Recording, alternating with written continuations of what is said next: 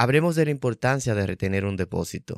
En muchas ocasiones me ha pasado de que yo no solicito depósito y empiezo a trabajar e invertir tiempo y dinero en lo que es el evento de una persona y resulta que ya después que tengo inversión hecha de lo antes mencionado, me escriben diciendo que ya no van a, necesitar mi servicio. Esto me pasó la semana pasada.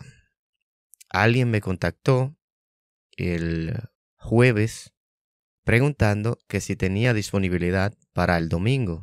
A lo cual le digo, bueno, déjame verificar cómo está mi calendario para confirmarte. Tenía algo que hacer el domingo y acomodé mi horario pues para poder darle servicio a esta persona. ¿Qué sucede? Que después que me da toda la información que necesito para empezar a trabajar y comienzo a trabajar, le digo, mira, yo te voy a mandar en unas horas un ejemplo de lo que vendría o cómo vendría a lucir tu evento.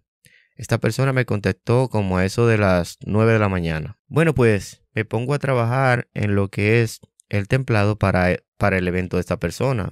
Recuerdo que era un baby shower. Como a eso de las 3.30 de la tarde, casi 4, esta persona me escribe un mensaje diciendo que ya no iba a necesitar de mis servicios. Que gracias. Y yo digo, wow, está bien, no, no es un big deal, pero ya yo estoy trabajando en tu evento. Entonces es de ahí donde nace la importancia de retener un depósito, especialmente con cláusulas que indiquen que eventos de última hora, el depósito no es refundible. No se devolverá un depósito si tú decides cancelar, especialmente cuando tú estás buscando el servicio con dos días en el medio para, para la fecha de tu evento. A mí, en lo personal, eh, este tipo de situaciones no me afectan tanto, pero sí incomodan porque ya yo te estoy dedicando mi tiempo trabajando en ti, en tu evento, para cumplir con algo que tú estás solicitando de mí.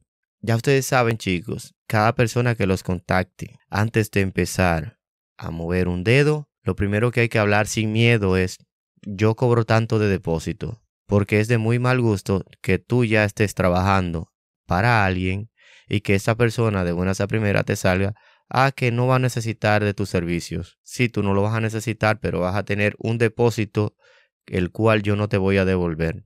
No se olviden de pasar por los videos anteriores en donde estuve dándole respuesta a los comentarios que dejaron algunas personas y antes de ese, también publiqué otro video en donde conté lo que me pasó de que dejé el cargador del celular y cómo eh, resolví para cubrir ese evento, un evento de 5 horas. Mi nombre es Yoris Pérez, esto es Slow Mo 360 Effects.